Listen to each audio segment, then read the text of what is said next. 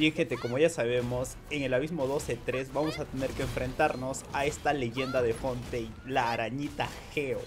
Y como es la primera vez que hace su aparición en el Abismo 12, vamos a analizar algunas estrategias para poder derrotarlo sin dificultad.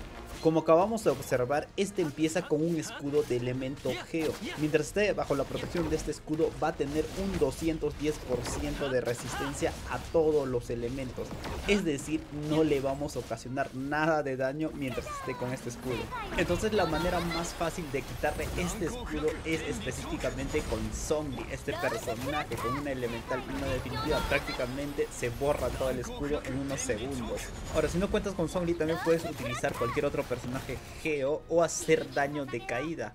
Aquí la gravedad al parecer es distinta, así que con un simple salto puedes hacer daño de caída con un personaje de espada ligera o mandoble.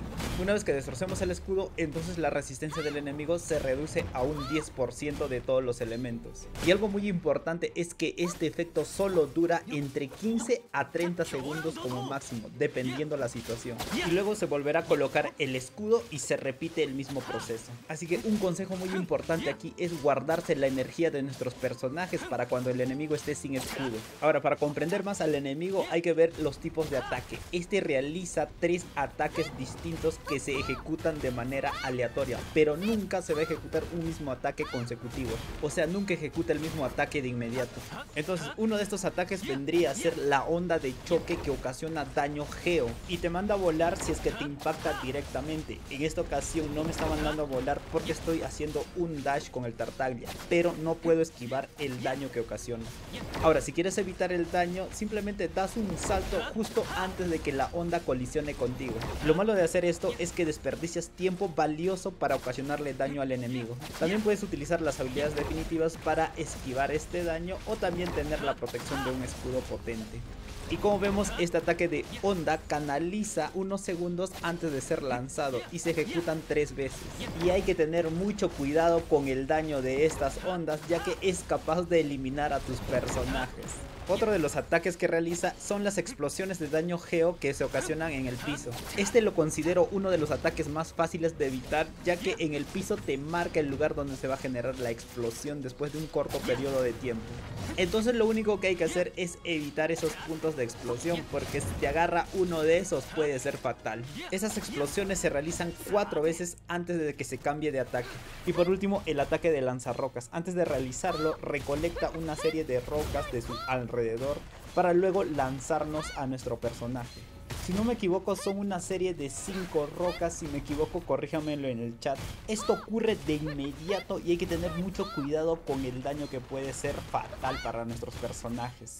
Bueno, yo creo que este es uno de los ataques que no quieres que te toque después de que le hayas quitado el escudo porque no te otorga mucho tiempo.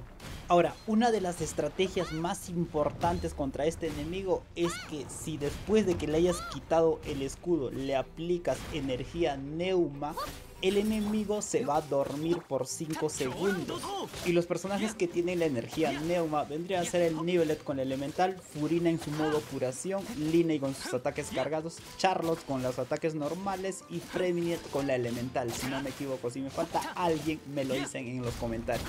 Lo bueno de deshabilitarlo de esta manera es que el enemigo ya no va a realizar esos molestos ataques sobre nuestros personajes hasta que se ponga el escudo. Además de algo que me di cuenta es que después de haberle quitado el escudo, por lo general siempre hace dos ataques distintos y luego se coloca el escudo. Entonces podemos aprovechar esto para prolongar un poco más el tiempo que se quede sin escudo. Por ejemplo, si después de quitarle el escudo dejamos que haga la serie de dos ataques antes que se coloque el escudo y justo antes de que termine el segundo ataque le aplicamos energía neuma y lo mandamos a dormir. Entonces con esto estaríamos prolongando un poco más ese tiempo sin escudo. Mejor veamos cómo sería esta situación. Por ejemplo, aquí tenemos que después de quitarle el escudo hace el ataque de ondas. Recordemos que hace una serie de tres ataques. Una vez que termine la serie de tres ondas, cambia al tipo de ataque de explosiones en el piso.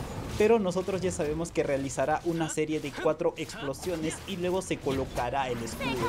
Entonces justo antes de que se concluya la cuarta explosión le aplicamos energía neuma y así prolongaremos un poco más el tiempo que esté sin escudo este enemigo. Puede sonar un poco complicado, pero con la práctica le sacarás el máximo provecho a esto. Otra estrategia podría ser que después de quitarle el escudo, utilices las habilidades de tus personajes supports y justo antes de golpear con tu personaje que hace más daño, le apliques energía neuma y luego golpees a gusto con tu personaje DPS. Bueno, estas fueron algunas de las estrategias que se me ocurrieron, pero con toda esta información no deberías complicarte contra este enemigo. Bueno, aquí les dejo algunos de los buenos equipos que podrían destrozar de inmediato a este enemigo. Uno de mis favoritos vendría a ser el de Bennett, Navia, Furina y Songli.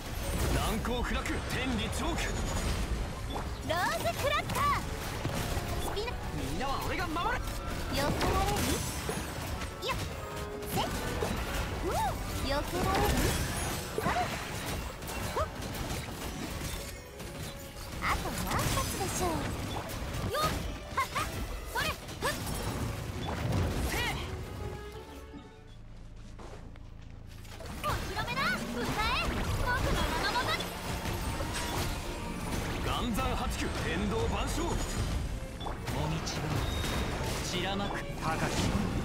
私は下げず。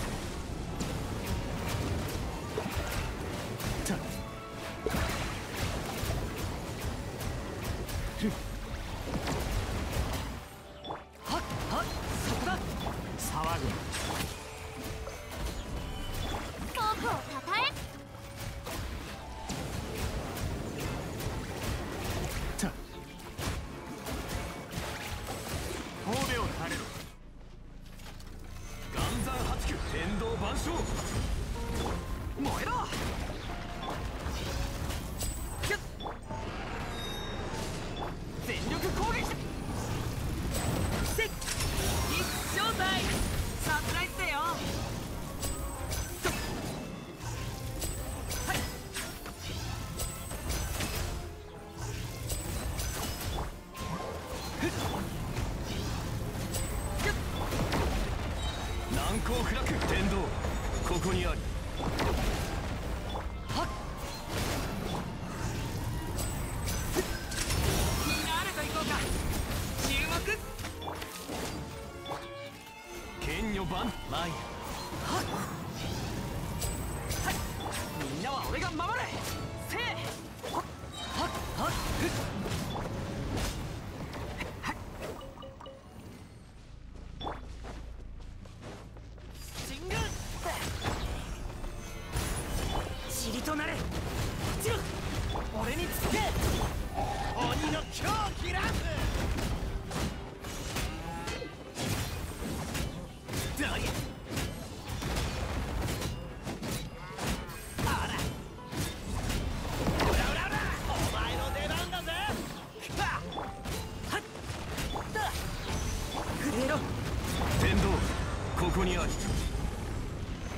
八九八九のことす牛